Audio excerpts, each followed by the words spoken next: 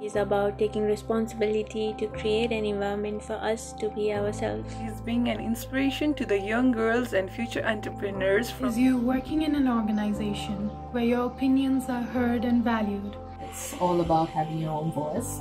That means to be recognized for whatever work you do. Teachers, guardians should teach and inspire girls to learn technology and embark on professional career. It means women are growing and being challenging. Empowering women all around the world to do extraordinary things. Work hand in hand with men in building innovation in the field of technology. Allowing them to stand out with the men in the industry.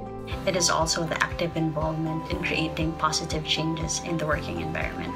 Women in tech today are vital in inspiring, empowering, and motivating organizations through digital transformation. Each for Equal.